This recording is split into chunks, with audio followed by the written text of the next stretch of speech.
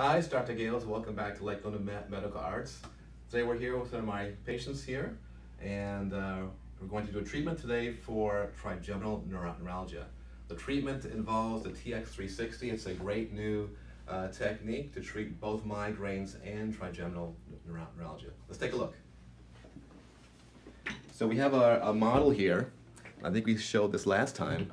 And basically, uh, this device goes inside the nose and uh, you deploy a little wire or a little tube and what this tube does is it goes into the nose while the patient's awake. You see it there deploying.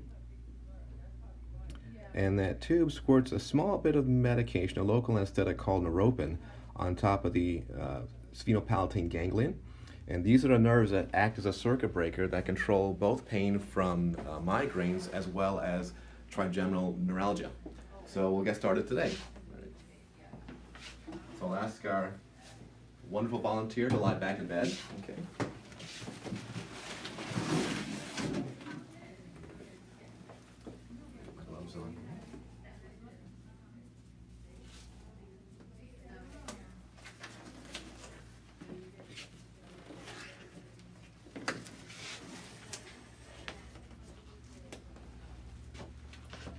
All right, here's our device here.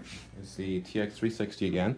And you can see again, it has a, a small syringe filled with only 0.6 cc's of local anesthetic and a small little tube that's very flexible and pliable and it squirts the medication right on that uh, sphenopalatine ganglion. Okay. So I'll come over here. Okay. I'm going to get our device ready. Okay, chin up please. Okay. And again, we just put this device just right on top of the nose here like so. And we just drop it down like so, okay? And we just gently press the, the plunger here. Medication goes in.